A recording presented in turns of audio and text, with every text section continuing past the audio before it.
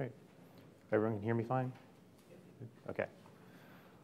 Uh, hello, my name is Craig, and I'm going to be talking about two new color code circuits and the open source decoder that I had to implement to compare them. This is work that I did with Cody, with Cody Jones. Each of us came up with one of the circuits that I'm going to be showing to you. Uh, I came up with the one that you're going to see we call the middle out circuit, and Cody came up with what we call the super dense circuit.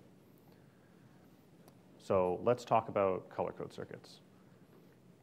The color code is a stabilizer code. It's defined by a set of stabilizers that you just keep measuring. Uh, on the right side of this slide is a picture of a color code. In this picture, the hexagons and the trapezoids are indicating what we need to measure. Each shape is two stabilizers, an X stabilizer and a Z stabilizer. Uh, the hexagons are six body stabilizers and the trapezoids are four body stabilizers. In a lot of ways, the color code is similar to the surface code. It's two-dimensional, it's planar, it has a good threshold, it's topological, all that good stuff.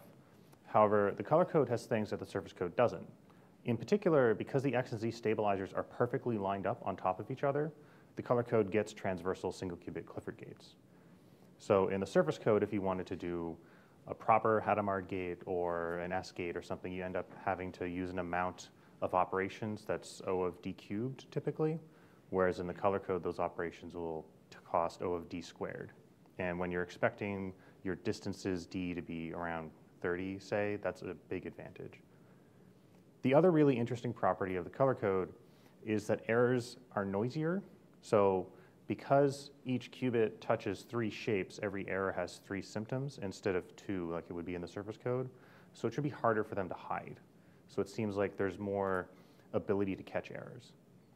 The cost you pay for these benefits is that the color code has bulkier stabilizers than the surface code. So they're weight six in the bulk instead of weight four. And that means that at every moment, your stabilizers are taking 50% more noise, and you need 50% more operations to measure them, and they'll spread hook errors 50% further. So really, the question of whether the color code is better or worse than the surface code kind of comes down to whether these noisier errors with more symptoms compensate for the increased noise your stabilizers experience due to being larger. So we're going to talk about color code circuits, uh, and here's possibly the simplest color code circuit you could make. You add an ancilla qubit to each shape, connect it to the data qubits of that shape, and then use the ancilla to measure the stabilizers one by one. Uh, this circuit is not very good. It needs a lot of layers to measure the operators, and the ancilla qubits have a lot of neighbors, so there's high connectivity. And hook errors created by the circuit are reducing the distance, so the circuit's not doing anything to compensate for hook errors. So we don't want to use this circuit. Um, here's another type of circuit we wouldn't want to use. So previously we were doing time multiplexing. This is space multiplexing, where we add two ancilla qubits and measure the stabilizers in parallel. This makes the circuit a lot faster, but it's still cutting the distance in half due to hook errors because it's not compensating for them.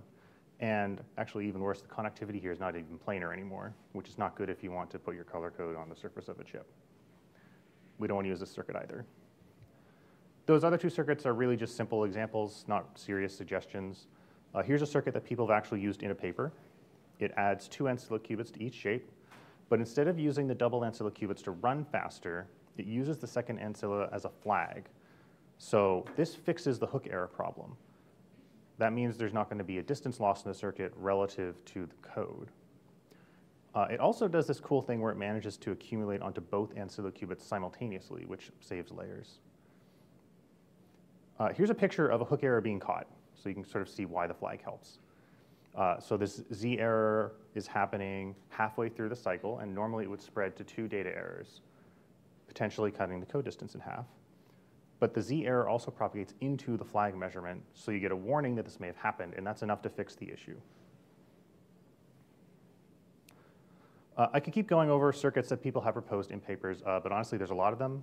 In this talk, it's only half an hour long, so I'm going to move on to our circuits. Uh, here's Cody's circuit, which we call the superdense circuit.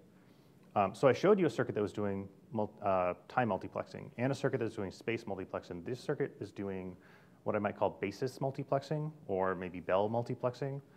It prepares a Bell pair and then relies on the fact that X flips and Z flips can both accumulate on both qubits So this is the same trick that superdense coding uses to send two bits uh, over one transmitted qubit. Uh, it's very similar to what the flagged circuit was doing. Uh, it's just that we've replaced the flag with the measurement of the other stabilizer. So this makes the circuit faster. Um, but the really cool part is that it's still flagging. So here, if you look at what a hook error does in this circuit, it will spread to multiple data errors, but it will also cause a detection event in the other bases. So this is why there's no distance loss in the circuit.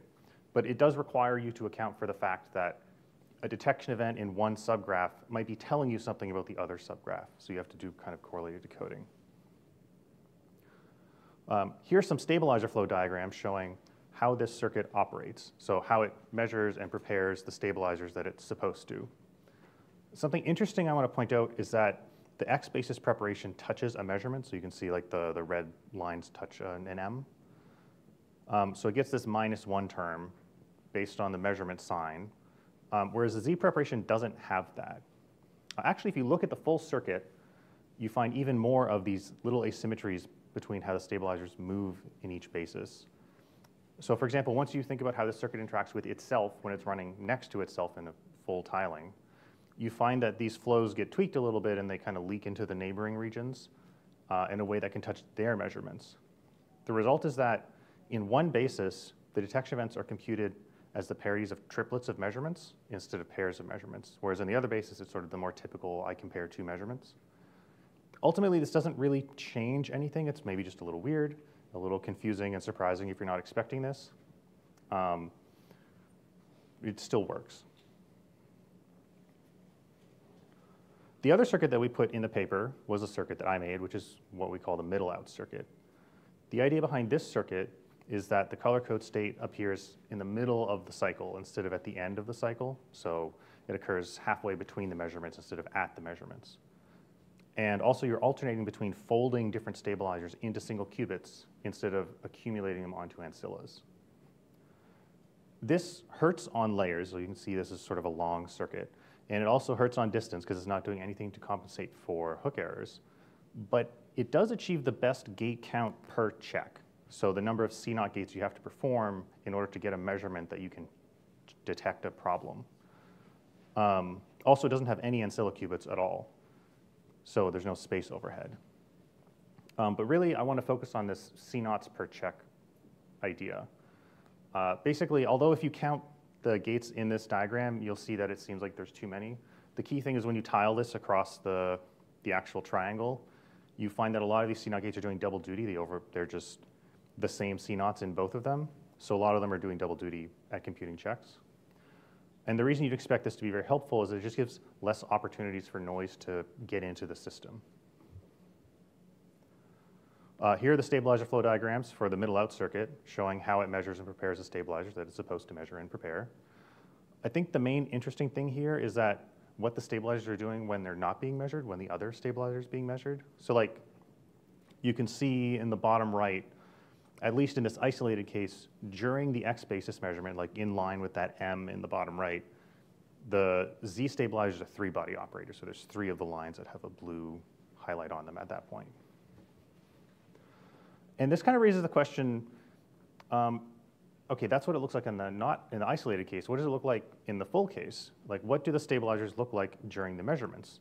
Because you know normally people build error correcting circuits in a way that the state, the code state uh, happens during the measurements.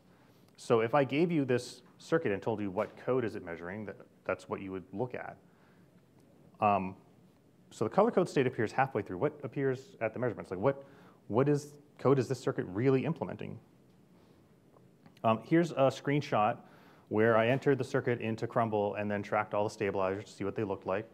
Um, it's hard to tell from this picture because the straight lines make it impossible to see which qubits are skipped or included along like the long vertical lines. But in the bulk of this circuit, uh, away from the boundaries, uh, these shapes are five body operators, so five qubit stabilizers. Uh, the surface code is four body stabilizers, and the color code is six body stabilizers, and this is five body.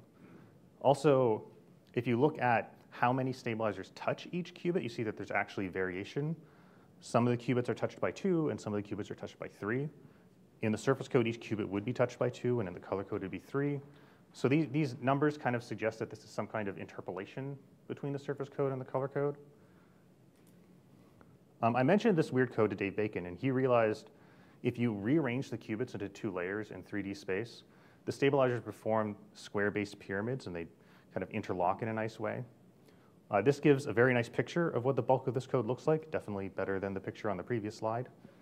Uh, I went looking to see if anyone had described this before, a five body code that fits on two layers like this, and I wasn't able to find anything. So we might be the first to notice that it exists, um, which kind of suggests an interesting way to generate codes is to make a circuit for an existing code and then look at the stabilizers of that circuit as it operates and just see if you find something interesting. The codes that you find this way have to be extremely related to each other because they're part of the same circuit. Um, so like here, the pyramid code, we, we this the pyramid code. Um, we know that it must have a constant depth, uh, must have constant depth single qubit Clifford gates because the color code has those things and this is very few gates away from the color code. Uh, and I don't know, I kind of wonder if you did this step of making a circuit and going to a different layer many times if you might actually be able to get to interesting places. But that's not what this talk is about, so I'm going to move on. In the pyramid code perspective of this circuit, the numbers move around a little bit. So that perspective makes it look like the circuit is more time efficient and less space efficient. Of course, it's the same circuit regardless of how you look at it, but I guess it kind of calls into the questions these numbers that I decided to show, if it's so easy to move them by factors of two, makes them kind of very subjective. Um, but fortunately, we don't have to rely on these subjective numbers. We can get objective numbers. Instead of trying to eyeball which circuit looks better, we can just simulate them and measure which one is better. So that's what we're going to do. We're going to sample the circuits, we're going to decode them, we're going to count how often they fail, except we don't have a decoder because when we came up with these circuits a year ago, we had no way to decode them. Um, there are multiple open source code decoders for the surface code, um, but as far as I can tell, there were zero available decoders for the color code. It's kind of frustrating, actually. People put all this work into writing papers about color code decoders, and then they don't make them available. They just let them sit away on some computer somewhere that no one can touch. So then the next person has to do it all over again, and this is just the kind of thing that sucks up years of grad students' lives. Um, and at least for this specific thing, we're going to fix it. We're going to implement the decoder. So let's talk about decoding color codes. Um, in a color code, if you put an error on a data qubit in the bulk, it will produce three symptoms, a red one, a green one, and a blue one. That's, that's why we use a three color tiling the way we do. Um, there's no way in the bulk to make a green symptom by itself or a green and blue symptom without a red symptom. All errors in the bulk preserve the fact that the number of red symptoms, green symptoms, and blue symptoms is equal mod 2. Uh, the reason it's only mod 2 is because if you put two of them next to each other, they can cancel out at particular places. So like the two greens and the two blues cancel out, leaving the two reds. Um, so it's easy to add two red symptoms, you just can't add one by itself. Um, also, a measurement error will produce two symptoms of the same color. So this, this R equals G equals B mod 2 conservation property is absolutely key to how you decode the color code and also to why it's fault tolerant in the first place. Um, the only places where you can violate this are at the boundaries. So at the sides or at the corners, you can get colors by themselves. And so the decoding problem kind of topologically comes down to which side do I send the excitations to? Do they match in the bulk or do they match to the left or the right or the bottom? The decoder's job is to look at the color detection events you get and to try to come up with errors that would cause them. So here I'm drawing errors as lines between the symptoms. So the goal is given some colored points, find edges that connect them together so that each point is explained. Um, a crucial thing here is if you have one line of each color, so a red line, a green line, and a blue line, they can meet together and create an uncolored virtual node. And this is also sort of what makes this problem hard is you don't know how many of these virtual nodes you're supposed to use, you don't know where you're supposed to place them, and so the decoder has to figure this out in addition. So the, like it's sort of like the problem isn't telling you the things you'd like to know, you have to figure them out. Um, shorter edges here correspond to more likely errors. And so what you want is a valid solution that uses as little line length as possible. So for example, on the left, Um, you see you can match these two red events and these two blue events together, but it's more efficient if you have them sort of merge together into a green line, and then you only have to travel a long distance once instead of twice. And also you can see that like correctly positioning the virtual nodes is important if you want to get the minimum distance. Uh, so that's the problem. What's, what's the solution? Well, we don't know the solution. For surface codes, or at least for single basis decoding of a surface code, we know how to efficiently find the most likely error set. Uh, we use the BLOSSOM algorithm, uh, and that works very well. For color codes, we don't know if there's an efficient way to do it. It's kind of crazy, actually, that we don't know this. We don't know an efficient way to do it, like we don't know a polynomial time way to do it, and we also don't know that we can't do it in polynomial time. Like no one even knows if this is NP complete or not. Uh, so as a result, existing decoders currently are either slow or approximate, and we don't know if it's possible to do better than that. An example of an approximate decoder is the restriction decoder. The key idea it uses is that if you delete one of the colors, the partial problem that's left behind is solvable by Blossom. So from this, you can create three partial problems, one for each color, solve them, and then try to put them together in order to form a full solution. Uh, Sahay and Brown realized that the restriction decoder could be improved by linking the partial problems together at their boundaries. So it turns out at the boundaries that they fit together. Uh, it's a little trippy to think about, but it works.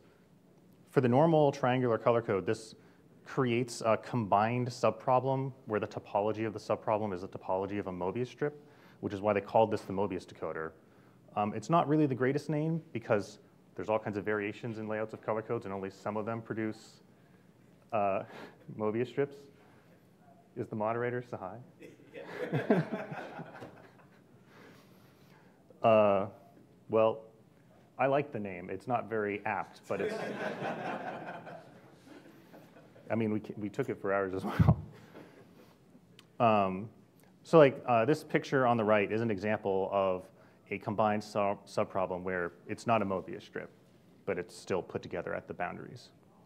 Um, so what I decided to do was to implement this decoder to compare our circuits. Uh, I called the implementation Chromobius, so I, I, kept the Mobius part of the name. And uh, you can go use Chromobius right now if you want to. The source code is available on GitHub. Also, you can install it as a Python package. Um, I would say the main difficulty I ran into when implementing Chromobius is that it needed to work on circuit noise, but the original paper only really describes what to do for code capacity noise. So like I had to figure out how measurement errors, uh, how the measurement errors are mapped into the subproblems and how they're lifted back into the full solution. Uh, I also had to reframe a lot of the rules that the paper used so that instead of being based on global properties, like knowing you're on a triangle, they're based on local properties like this R equals G equals B mod 2 conservation in the bulk. Uh, I won't go into the details or the various corner cases that make this tricky. Just be aware this wasn't just implementing, it was also a bit of algorithm design. Uh, and I'm pretty happy with the result. Um, in particular, because of this focus on local properties, Chromobius can understand things with pretty complicated global structures that you might not expect it to work on, like lattice surgery or braiding, because um, these things don't really affect the local structure. They're global, it doesn't really know about them, and so it understands them by not understanding them or not caring about them. It's also very fast, in big part because it uses PyMatching to solve the subproblems, and PyMatching is very fast. Um, here's a plot showing Chromobius is very fast. These curves uh, are actually for quite a large variety of different situations, like phenomenological noise and circuit noise for various different circuits. And what you can kind of see is it doesn't really matter which circuit you're running you get roughly the same speed until you start getting close to the threshold and then things get really bad. So this is why I can kind of give an explicit number and have that kind of mean something to say that, oh, I can do 300 kilohertz detection event decoding with Chromobius without worrying too much that you'll see different numbers due to the specific circuit you use it on. Um, I'd be more worried about the number being wrong because your computer is different. Um, for comparison, PyMatching decodes at around 2 megahertz, which is about 10 times faster it has to be at least three times faster because we're turning it into three subproblems and solving each of the subproblems. Um, so there's a little bit of room for improvement here, um, but I would not consider this improving the speed the highest priority at the moment. Now, although I wrote Chromobius and I'm, and, I'm, and I'm proud of it, there are several things about it that bother me and can be very troublesome. Uh, first of all, Chromobius requires the user to manually color and basis annotate the detectors. So for every detector you declare in the circuit, you have to say this is red or green or blue, and this is X or Z basis. I would really prefer not to have the user do this, but I don't know any reliable way to infer this information from an unannotated circuit. It seems like it should be possible, but it also seems like it's really close to hard problems like three coloring. So I don't know a way to do it that I feel would work well. Um, this could potentially be fixed, um, and if it was, it would be enormously helpful because it's kind of a pain to have to annotate this every time. Uh, secondly, and this is the consequence of having to label things X or Z basis, Chromobius kind of can't understand the transversal S-gate, so it can like understand these complicated lattice surgery braiding things, but it can't do like a single layer of S-gates. Um, and the reason for that is because what the S-gate does is it sort of sends your X detectors to the product of your X and Z detectors. And so at the location where you have the S-gate, your subgraphs kind of merge or touch each other. And because you have to label all of the detectors as X or Z, the labeling just doesn't support this concept. So you know, with this labeling problem where you can't see the label, um, I would say this is like the main thing I wish I could fix. A less embarrassing thing is that Chromobius can't understand color codes that cycle between measuring stabilizers in all three bases instead of just two of them. So if you have a color code, I've described them as having two stabilizers for each square, but the product of those is the third stabilizer, and you can just directly measure that. And there are reasons to think that cycling between all three bases might do better than alternating between two of them. But the problem is this kind of introduces a perpendicular second concept of red, green, blue coloring across time in addition to across space. So like in a normal color code, if you have a detection event in one round, you can move it to another round by inserting a measurement error. But when you're doing these triplet measurements, you have to move it to two other uh, measurement, error, uh, two other detection events. And it's just, it, it seems like you'd at least need like nine subproblems maybe in order to make it work, and I didn't want to think about that. So you can't do that with Chromobius.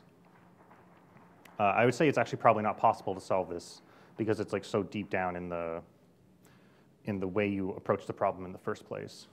Or sorry, when I say it's not possible, I mean I don't want to modify Chromobius to do this. Other things that bug me are that there's a few things you can do wrong where you'll get no warning that you've done anything wrong until while it's actually sampling and decoding, it just raises an exception like I failed to lift the solution. Uh, for example, if you make a repetition code and the Chromobius can decode a repetition code, but you're still forced to color it, and if you use all three colors kind of randomly, you'll create situations where solutions are local in the subproblems, but would have to go to a boundary in the global problem, and it, it just falls apart. So there's kind of this tricky, make sure you only use two colors inside parts that are matchable, and I have no way of checking that you've done that, or knowing what's matchable and what's not. So sorry if that fails. Um, another thing is, because it splits the problem into X and Z subgraphs, it doesn't really have the ability to understand correlations between them. Uh, and also, kind of for similar reasons, it doesn't really understand flags or erasures. But we have a decoder, so let's run the circuits and let's compare them. And it turns out the winner is me. so this is using uniform depolarizing circuit noise with a noise strength of 0.1%. So we're, we're kind of opinionated about the noise as opposed to the size. Where normally when people draw these diagrams, they're opinionated about the size as opposed to the noise. Um, along the horizontal axis, we're varying the size of the color code. Um, because the different circuits all have different qubit overheads, I'm plotting this qubit count on a square root scale as opposed to like, as opposed to like saying the patch diameter because the patch diameter is not enough information to know how many qubits you're using. Um, the vertical axis is error rate, lower is better. Lowest here is the surface code with the decoder that understands correlations between the X and Z subgraphs. Uh, this is an internal decoder that we have that we haven't open sourced and maybe we will at some point, I, I don't know. Um, above that is the surface code decoded by PyMatching, which you can do by installing PyMatching. And then above that is the middle out circuit. Um, interestingly, it has the same slope as the surface code line, so it's improving as quickly when given more qubits. So its marginal cost is matching the surface code, and it's just starting from a slightly worse place. And then above that is the superdense code, and then above that is some other case that I haven't talked about where we tried variations in the tiling we use for the color code. I'm not going to talk about it because the conclusion is that it's not really good, as you can see. Um, now, in addition to comparing to each other, we can also compare to previous work. This is actually kind of tricky to do well because people haven't been really seeing their code, and if you recall, that's why I had to write Chromobius in the first place. So we can't really extend their results beyond what's shown in their papers.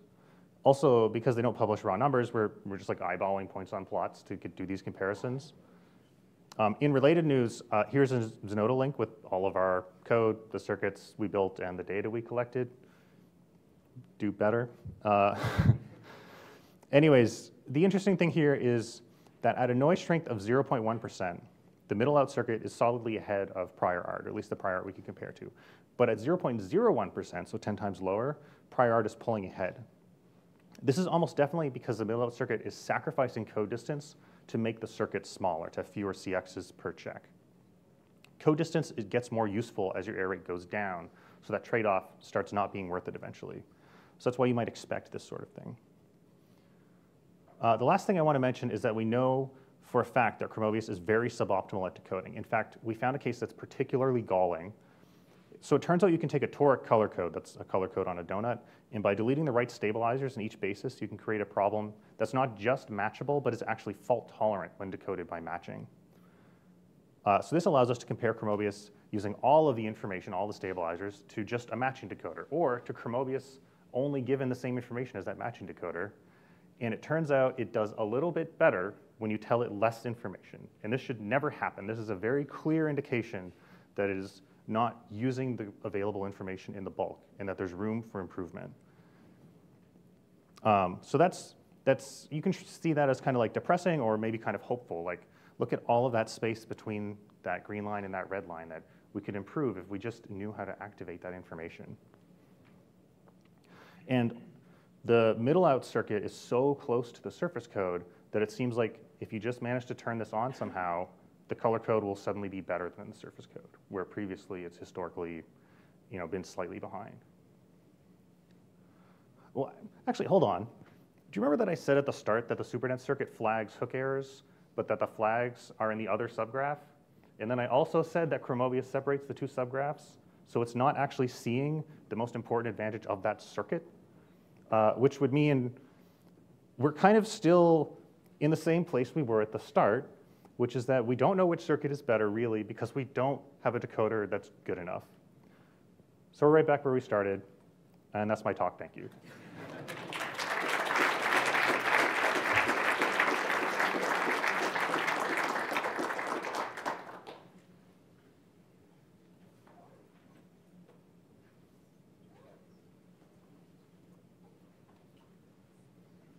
Thank you for that talk. Uh, if people have questions, please come up to the mic at the front.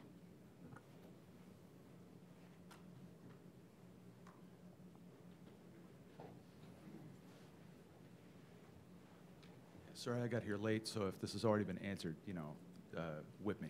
But uh, if you want to use um, an uncorrelated X and Z uh, decoder uh, and you're worried about correlations, why not uh, use BP first in order to get um, you know, an, an independent uh, set of error channels for your. I mean, that sounds like a reasonable idea. I didn't do that. That that might work. Uh, I will say one thing I did try is I tried running the subgraph problems through a correlated surface code decoder, uh, and that made things worse. So it, um, at least the simplest thing to try didn't work. But yeah, using BP to reweight edges sounds like it could help. Hi, thanks for the nice talk. Um, I was wondering, uh, when you talked about um, Y checks, like the XYZ and the XZ, um, what cases uh, would it be beneficial to do Y checks? Could you just talk about doing Y checks in general? well, for example, um, in many cases when you're doing lattice surgery, you're limited by how quickly the, the measurement stabilizes. And if you're alternating X and Z checks, then if I break all of the X checks in one of the stabilizers from when I began a lattice surgery to when I ended it, that'll break it. If I do this XYZ thing, then it looks like I have to break the X and Y checks, but not the Z check. And so the time-like distance is like you're getting two-thirds efficiency instead of half efficiency on it. So you, you might expect it to be faster at lattice surgery.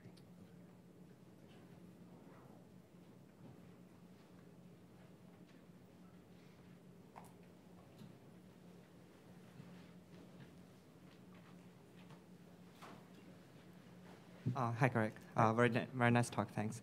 Uh, My question is, um, since the uh, the mo- uh, most likely error decoding is NP-hard problem, we can expect a deterministic polynomial time. So the comparison between decoders is really about accuracy and versus time. That's right. Is there any way to establish a benchmark that you can compare them fairly? Like Uh, which I- decoder achieves a better approximation better? I mean, definitely you could just make a scatter plot of speed and accuracy and just look at it. I think it's hard to pick a given metric because depending on your use case, you'll have different requirements. Like if you want to do decoding in real time, you have a very, very strict time constraint and you just do the best you can within it. Whereas if you're um, doing simulations or you're maybe more interested in some kind of physics question about the threshold, then you might want to spend a lot of time. I see.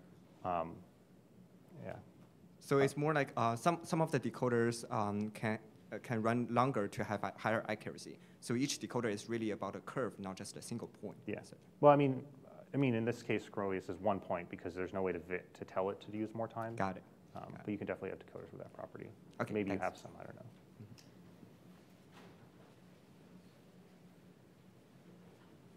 This is related to your point of having going between X, Y, and Z. I was wondering if there's a version that could be used for like the flokified color code and decoding that.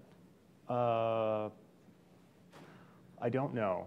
I don't know enough about the Floquet color code to know for sure. I know that like the honeycomb code, like the Floquet surface code, uh, shares most of the properties of the surface code. Definitely at the like the topological level, it does. But the microscopics are totally different potentially. Yeah, I don't know the answer to that question. Sorry. Thanks. Hi, Greg. It was a nice talk. Um, I was just curious as to how the superdense code went with decreasing p, because your intuition was that um, the prior art improved the decreasing p. Maybe the superdense did as well. Yeah, we, we did mostly focus on this 0.1% noise rate, so I, I don't think I know the answer to that question even. Um, but also, like I said, Chromobius doesn't understand the crucial thing that it needs to in order to see the expected effect there. So like from, as far as it knows, it's a D over 2 distance circuit instead of a distance D circuit, which is really why the comparison wasn't fair.